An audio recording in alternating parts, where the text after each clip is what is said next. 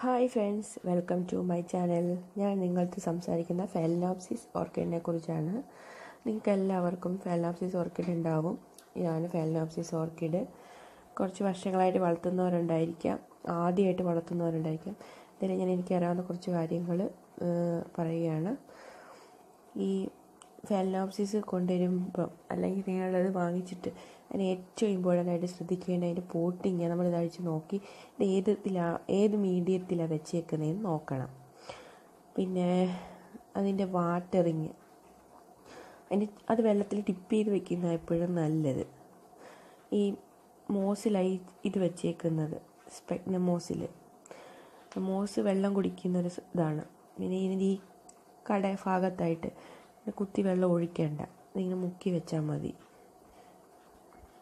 ഇതിങ്ങനെ പോട്ട് ചെയ്യുന്നതെന്ന് വെച്ചാൽ എപ്പോഴും ഇങ്ങനെ ശ്രദ്ധിക്കാൻ നേരമില്ല അതായത് എപ്പോഴും ചെടിയിൽ നമ്മൾ നോക്കിയിരിക്കാൻ നേരം ഉണ്ടാകത്തില്ല. നിങ്ങൾ ഫ്ലവർ ഇഷ്ടപ്പെട്ട് വാങ്ങുന്നവരായിരിക്കും. അങ്ങനെയുള്ളവർക്ക് വേണ്ടി ഇത് കരിയിൽ എങ്ങനെയാണ് സെറ്റ് ചെയ്യുന്നതെന്ന് കാണിച്ചു തരാം. ഇത് ഫുള്ള് കരിയിൽ വേണമെങ്കിൽ വെ ഈ മോസ് എടുത്ത് മാറ്റിയിട്ട് നമുക്ക് ഫുള്ള് കരിയിൽ വേണമെങ്കിലും വെക്കാം. അങ്ങനെയാണെങ്കിൽ നമ്മൾ വെള്ളം ഒഴിക്കുമ്പം കുഴപ്പമില്ല. വെള്ളം അങ്ങ് വാർന്നു പൊക്കോളും. അല്ല മോസിലാണെങ്കിൽ ഇതിന്റെ ചുറ്റും ഇങ്ങനെ വെള്ളം ഒഴിച്ചാൽ മതി. ഇപ്പോൾ മൺപാത്രത്തിലൊക്കെ വെച്ച് നമുക്ക് ഡിപ്പ് ചെയ്ത് വെക്കാൻ പാടായിരിക്കും. നമ്മൾ ചുറ്റും ഇങ്ങനെ വെള്ളം ഒഴിക്കുക. എല്ലാ ദിവസവും വെള്ളം കരിയിൽ വെക്കുമ്പോൾ എല്ലാ ദിവസവും വെള്ളം ഒഴിച്ചാൽ കുഴപ്പമൊന്നുമില്ല. വെള്ളം അങ്ങ് വാർന്നു നോക്കുള്ളൂ നടുക്ക് മോസ് വെച്ച് ഇതുപോലെ ഇപ്പോൾ സെറ്റ് ചെയ്യുന്നെങ്കിൽ നിങ്ങളൊരു മൂന്ന് ദിവസം കൂടുമ്പോൾ ഒഴിച്ചാൽ മതി. കുറച്ച് വെള്ളം ഈ മൺപാത്രം കുടിക്കുള്ളൂ രാവിലെയാണ് വെള്ളം ഒഴിക്കുന്നതെങ്കിൽ കുഴപ്പമില്ല. വൈകുന്നേരം ആകുമ്പോഴത്തേക്ക് അതങ്ങ് വാർന്നു പോകും. ഇങ്ങനെ വൈ ഒന്ന് നോക്കണം. അല്ല നിങ്ങൾ വെള്ളം ഇങ്ങനെ കുത്തി ഒഴിച്ചാലും കുഴപ്പമില്ല. തുടച്ച് കളഞ്ഞാൽ മതി. മഴയത്ത് വെച്ചാലും കുഴപ്പമില്ല. ഈ ഒരു അരമണിക്കൂർ കഴിയുമ്പോഴത്തേക്ക് അവിടെ നിന്ന് തുട അതിന്റെ ആ കടഭാഗം ഒന്ന് തുടച്ച് കൊടുത്താൽ മതി. ഇലയിലൊന്നും കുഴപ്പമില്ല. കൂമ്പ് ഭാഗം മാത്രമായിട്ടൊന്ന് തുടച്ചു കൊടുക്കണം. അത്രേ ഉള്ളൂ. ഇത്രയും ചെയ്ത് കഴിഞ്ഞാൽ വേറെ കുഴപ്പമൊന്നുമില്ല. നിങ്ങൾക്ക് ആർക്കെങ്കിലും ഇങ്ങനെ കൂമ്പ് ഭാഗം അഴുകിയ ഫെല്ലോപ്സിസ് ഉണ്ടെങ്കിൽ ജസ്റ്റ് ഇങ്ങനെ ചീ അവിടുത്തെ ആ ഇല അങ്ങ് മുറിച്ച് കളയുക. ആ ഭാഗത്തുള്ള ഇല അങ്ങ് മുറിച്ച് കളഞ്ഞിട്ട് കറുവപ്പട്ട പൊടിച്ചത് അവിടെ ഒന്ന് വെച്ച് വിടുക കറുവപ്പട്ട നല്ലപോലെ പൊടിച്ചിട്ട് അതിലൊരു കുറച്ച് ആ ഭാഗത്ത് ഇട്ട് കൊടുത്താൽ മതി. ഇലവാട്ടം ഉണ്ടെങ്കിലും അവിടെ ഇട്ട് കൊടുത്താൽ മതി. അത് നന്നായിക്കോളും. ഈ കറുവപ്പട്ട ഇതിനെല്ലാം നല്ലതാണ്. ഈ കരി ഞാൻ രണ്ട് പ്രാവശ്യം കഴുകിയതാണ്. കരിയുടെ കൂടത്തിൽ രണ്ട് ചെറിയ ഓട് കഷ്ണങ്ങളുണ്ട്. നിങ്ങൾക്കിപ്പോൾ കരി കരി വാങ്ങാൻ കിട്ടും. കരി നിങ്ങൾക്ക് കിട്ടിയിട്ടില്ലെങ്കിൽ ലേക്ക് യൂസ് ചെയ്യാം. രണ്ടും ഏതെങ്കിലും ആണെങ്കിൽ വെള്ളം അങ്ങ് വാർന്നു പൊക്കോളും. പിന്നെ ഈ പൂമട്ട് വരുമ്പോഴേ ഇത് ഇതേപോലെ ഒരു തട ഒരു കം ഒരു താങ്ങ് കൊടുക്കുവാണെങ്കിൽ ആ പൂമൊട്ട് ഒടിഞ്ഞു പോകാതെ നിൽക്കും. ചിലപ്പോൾ നല്ല നീളത്തിലായിരിക്കും സ്പൈക്ക് വരുന്നത്. അപ്പം അതിനൊരു ഇതുപോലൊരു കമ്പ് വെച്ച് കെട്ടുവാണെങ്കിൽ അതിന് അത് ഒടിഞ്ഞു പോകത്തില്ല. അപ്പം നമുക്ക് ഇതുപോലെ ഒരു കമ്പ് വെച്ച് കെട്ടിക്കൊടുക്കാം. ഇപ്പോൾ ഇത് സെറ്റ് ചെയ്ത് കഴിഞ്ഞു. ഏരിയൽ റൂട്ട്സൊക്കെ ഇങ്ങനെ കിടന്നുകൊണ്ട് കുഴപ്പമില്ല. അതിപ്പം വെന്റിലേഷൻ ഉള്ളതാണ് നല്ലത്. ഏരിയൽ റൂട്ട്സൊക്കെ കുറച്ച് പുറത്ത് കിടക്കുന്നു. അല്ലെങ്കിൽ നല്ല കിടക്കാൻ വേണ്ടി ഈ മൺചട്ടി ആയതുകൊണ്ട് ആവശ്യത്തിന് സ്ഥലം ഉണ്ടല്ലോ ഇങ്ങനെ വെളിയിൽ കിടന്നാലും കുഴപ്പമില്ല. കരിയിലുള്ളിലാണ് കുഴപ്പമില്ല.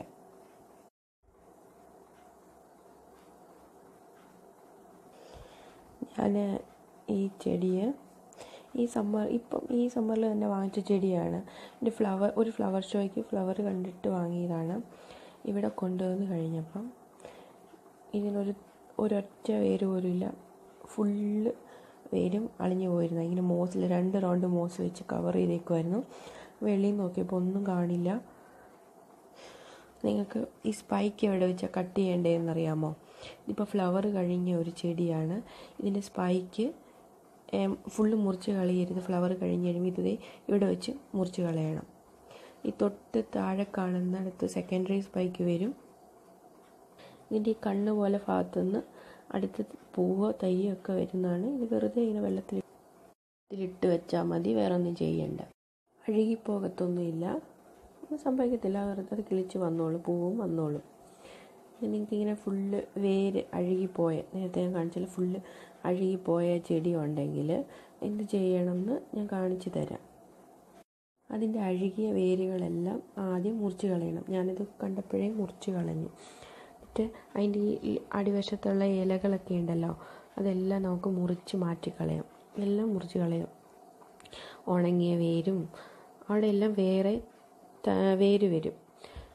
ഒരുപാട് ഇല കിളിച്ച് വരില്ല. ഫെലോപ്സിസിന് വർഷത്തിൽ രണ്ടോ മൂന്നോ വേര് ഇല രണ്ടോ മൂന്നോ ഇലകളെ കിളിച്ച് വരുള്ളൂ. വേരൊത്തിരി വരും. നമുക്കിത് ഇതിന്റെ ഈ ഇലയും മുറിച്ച് കളയാം. സ്പൈക്ക് മുറിക്കേണ്ട ഫെലോപ്സിസിന് സ്പൈക്കിൽ നിന്നാണ് ഞാൻ പറഞ്ഞിട്ടുണ്ടല്ലോ കേക്കീസ് തൈകൾ ഉണ്ടാവുന്നത് അല്ലെങ്കിൽ വീണ്ടും ഫ്ലവർ ഉണ്ടാവുന്നത്. അത് ഉണങ്ങി അടുത്ത ഒരു ഫ്ലവർ വരുന്നിടം വരെ അതവിടെ നിന്നോട്ടെ മുറിക്കേണ്ട. ഇതിന്റെ താഴെ ഇതിന് ഈ കളർ വ്യത്യാസം കാണുന്നത് ഞാൻ കറുവപ്പട്ട പൊടിച്ചിട്ട് നോക്കിയതാണ് ഈ ഇലയുടെ ഈ ഈ സാഗി ഇങ്ങനെ ഈ തളർന്ന് കിടക്കുന്ന ഇത് മാറുമോ എന്നറിയാൻ വേണ്ടി ഞാൻ മുറിച്ചു അല്ല കറുവപ്പട്ട ഇട്ട് നോക്കിയതാണ് പക്ഷെ അത് മാറുന്നില്ല അത് കേടായത് കൊണ്ടാണ് മാറുന്നില്ല. അപ്പോൾ ഇതിന് മുറിച്ച് കളയുകയേ രക്ഷയുള്ളൂ. നമുക്കിത് വെറുതെ വെള്ളത്തിലിട്ട് വെക്കാനാണ് ഞാൻ ഉദ്ദേശിക്കുന്നത് നിങ്ങൾ വെള്ളത്തിന്റെ അളവ് അതായത് ഈ സാ ഈ കമ്പി ഇനി വേണമെന്നില്ല. നമുക്കിത് ഊരിക്കളയാം ഇത് ഇതിനെ ഈ ഫ്ലവറിനൊരു ഞാൻ പറഞ്ഞല്ലോ നേരത്തെ ഫ്ലവർ ഈ പൂമുട്ട് വരുമ്പോൾ അത് ഒടിഞ്ഞു പോകാതിരിക്കാൻ വേണ്ടിയിട്ടാണ് നമ്മളിങ്ങനെ ഒരു സപ്പോർട്ട് കൊടുക്കുന്നത്. ചിലപ്പോൾ നല്ല നീളത്തിലായിരിക്കും സ്പൈക്ക് വരുന്നത്. ഇത്രയും വെള്ളം വേണ്ട. നമുക്ക് വെള്ളം ഈ ഇല മുറിച്ച ഭാഗത്ത് മുട്ടാതെ കണ്ടോ? അതൊരു ഈ ഒരു അളവ് ആ താഴെ ആ വേര് വരുന്ന അത്ര ഭാഗം കണ്ടോ? അവിടെ വരെ അളവ് മതി വെള്ളം. പിന്നെ ഈ നമ്മൾ ഈ മുറിച്ച ഭാഗം ഞാൻ എപ്പോഴും പറയുന്ന പോലെ ചെടി മുറിച്ച ഭാഗം നമ്മൾ ഹൈഡ്രജൻ പെറോക്സൈഡോ ഫംഗിസൈഡ് ഏതെങ്കിലും ഇൻഡോഫിലോ ഏതെങ്കിലും യൂസ് ചെയ്യുന്നത് നല്ലതാണ്. കാരണം അവിടെ ചീഞ്ഞു പോയി കഴിഞ്ഞാൽ നമ്മുടെ ചെടി ചെടിക്കല്ലേ? അതുകൊണ്ട് അത് സൂക്ഷിക്കണം. ഇതിൽ ഈ ഹൈഡ്രജൻ പെറോക്സൈഡ് യൂസ് ചെയ്തിട്ട് വേണം ഈ ഭാഗങ്ങളിൽ ഇത് നിങ്ങളത് എടുത്ത് വെക്കാൻ വേണ്ടിയിട്ട്. ഞാനിത് ഈ ഹൈഡ്രജൻ പെറോക്സൈഡ് ഡിപ്പ് ചെയ്തിട്ടാണ് അല്ല ഇൻഡോ ആ രണ്ട് ഹൈഡ്രജൻ പെറോക്സൈഡ് ഡിപ്പ് ചെയ്ത് ഇൻഡോഫിലും ഡിപ്പ് ചെയ്തിട്ടാണ് വെച്ചേക്കുന്നത്. ഈ ചെടി കിളിച്ച് വന്നോളും. പെട്ടെന്ന് ഫ്ലവർ ഉണ്ടാവില്ല. ഈ ഇതെന്റെ ഫസ്റ്റ് ഫെലനോപ്സിസ് ഈ ഫെലനോപ്സിസ് ഞാൻ ഫുള്ള് വേരും. ഇലകളും എല്ലാം മുറിച്ച് നോക്കിയിട്ടുണ്ട്. എല്ലാം കിളിച്ച് വന്നിട്ടുള്ള. ഞാൻ ഒരു മീഡിയത്തിലും വെച്ചിട്ടില്ല. വെറുതെ ഇങ്ങനെ വെള്ളത്തിലൊക്കെ ഇട്ട് വെച്ചിട്ടേ ഉള്ളൂ.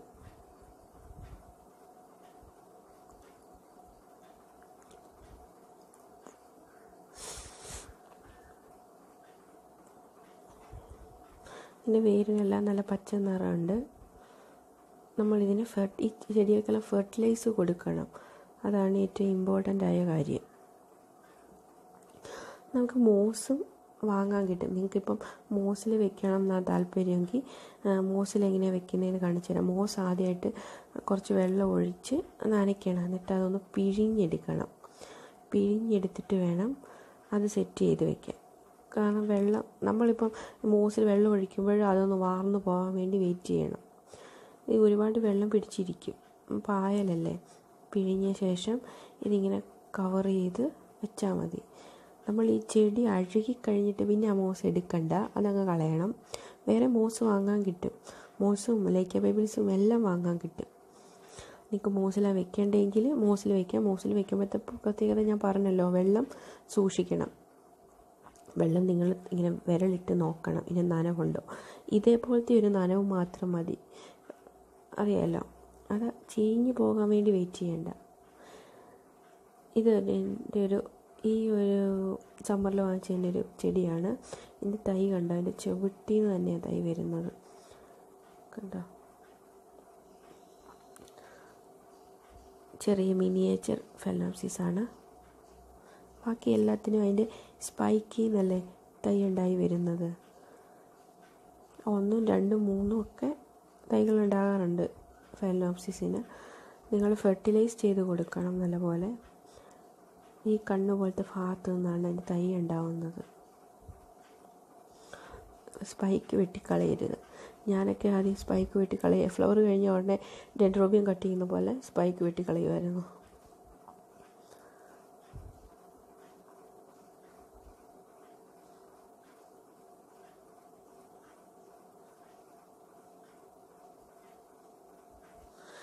ഇതൊരു ഫ്ലവർ കഴിഞ്ഞ ഫെലോപ്സിസ് ആണ്.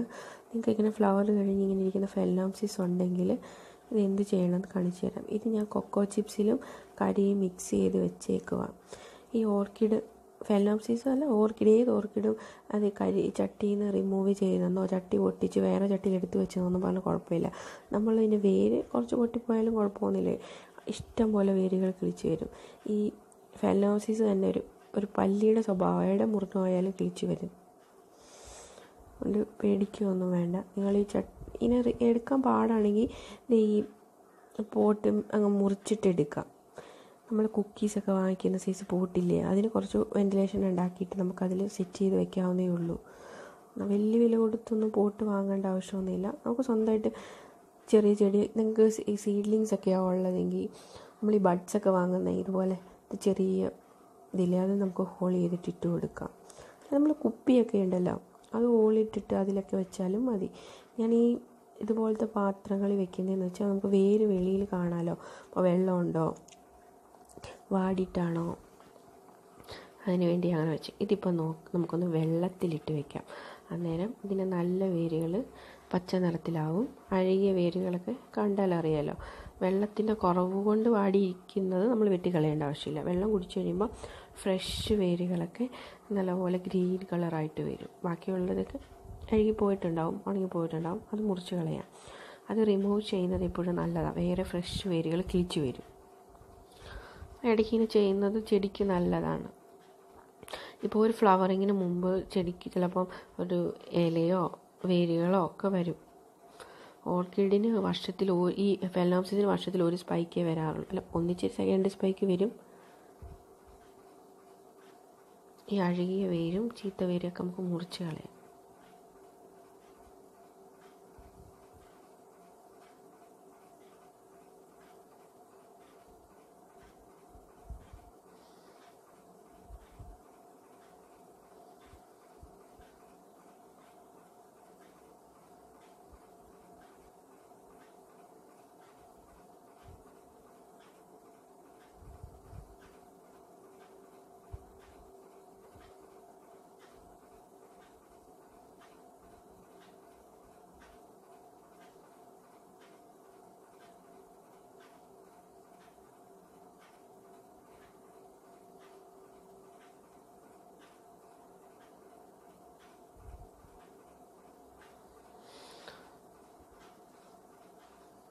അത്യാവശ്യം പേരൊക്കെ കൊള്ളാത്ത പേരൊക്കെ അഴിച്ചു കളഞ്ഞു.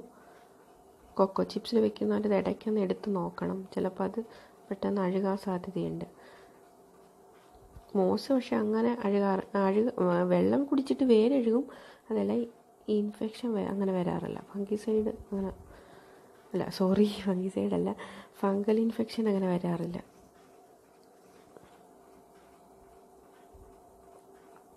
ഇത്രയും പേര് മതി. മുറിച്ചെടുത്തു ഇനി നമുക്കിത് വെറുതെ ഒന്ന് ഇതിലിട്ട് വയ്ക്കാം ഈ നിങ്ങൾക്ക് എങ്ങനത്തെ പോട്ടിൽ വേണമെങ്കിലും ഇട്ട് വെക്കാം. ഞാൻ പറഞ്ഞല്ലോ ഹൈഡ്രജൻ പെറോക്സൈഡ് ഈ മുറി ഞാൻ പറഞ്ഞിട്ടുണ്ട് എപ്പോഴും പറഞ്ഞിട്ടുണ്ട്. നമ്മൾ എന്തെങ്കിലും മുറിച്ച് കളയുമ്പോൾ അവിടെ ഹൈഡ്രജൻ എന്തെങ്കിലും ഒരു ഹൈഡ്രജൻ പെറോക്സൈഡോ ലിസ്ട്രീനോ ഇൻഡോഫിലോ എന്തെങ്കിലും നിങ്ങൾക്ക് നിങ്ങളുടെ കയ്യിൽ അവൈലബിൾ ആയിട്ടുള്ള ഏതോ ഒരു ആന്റിസെപ്റ്റിക്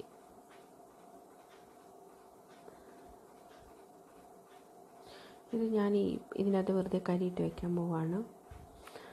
കുറച്ച് ഇതിപ്പം ഒരുപാട് വെന്റിലേഷൻ ഇല്ലാത്ത പോട്ടായതുകൊണ്ട് കുറച്ച് കരി ഇടുന്നുള്ളൂ. എനിക്ക് വീഡിയോ ഇഷ്ടപ്പെട്ടെന്ന് വിചാരിക്കുന്നു. ഷെയർ ചെയ്യുക സബ്സ്ക്രൈബ് ചെയ്യുക.